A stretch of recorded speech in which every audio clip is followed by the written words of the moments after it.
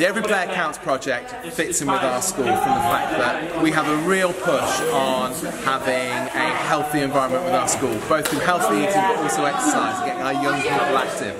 And this just adds into the kind of portfolio of activities we do as a school. I enjoyed playing with my friends and shooting on the goal.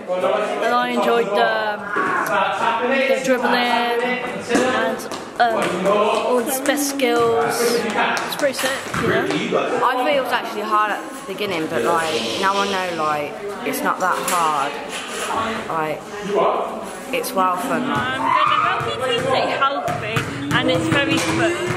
Playing football and, uh, and scoring goals and tennis and adding the project's been a really enjoyable experience for our young people. One of the things which is important to them is consistency.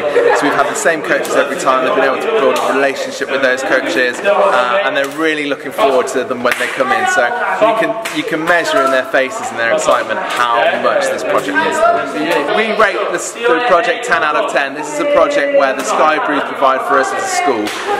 We, unfortunately, in the environment at the moment, really struggle to be able to get coaches in and afford this kind of experience. So from Sky Blues going to get the funding themselves and then introducing it to us um, means this opportunity has happened. Without them, this wouldn't have happened. So yeah, we would definitely rate it 10 out of 10.